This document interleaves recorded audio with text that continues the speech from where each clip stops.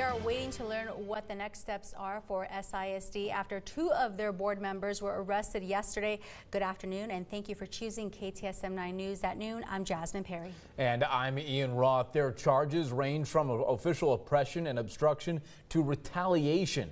Pablo Barrera was charged with two counts of official oppression, four counts of obstruction of retaliation, improper influence, and coercion of a public servant.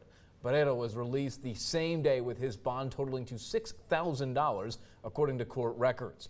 Ricardo Castellano is the second Socorro ISD trustee to be arrested. His wife, Gabriela Castellano, was also arrested. They were both charged with two counts of obstruction or retaliation with a $4,000 bond. And according to court records, they were both released the same day.